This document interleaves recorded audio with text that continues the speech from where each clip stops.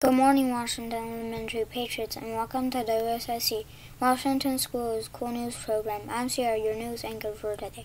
Please stand for the Pledge of Allegiance and moment of silence.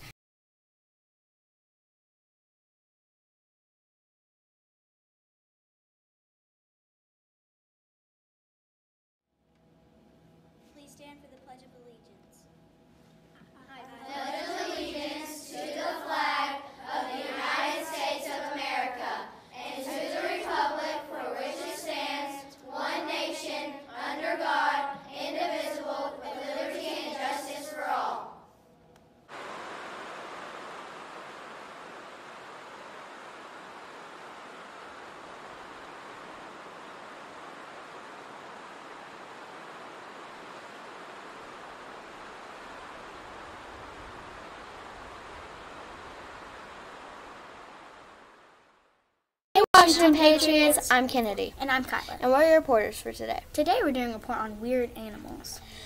Kyla, do you want to tell the Patriots first two? Yes. The first one is an anaconda. It can weigh up to 550 pounds and 30 feet long.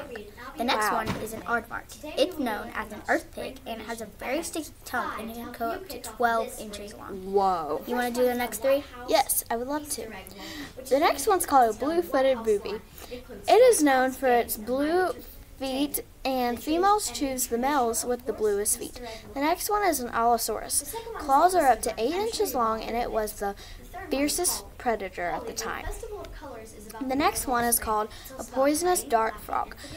It's the most toxic species on Earth, and they are carnivores.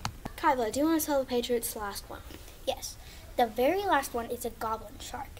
It, they can open their jaw three inches out and they live in the very bottom of the ocean. Hope you like this report. Now back to, to the studio. Peace. Thanks, team. Signing off for the WSIC crew. I'm Ciara. Tune in next time for your WSIC news. Have a great day.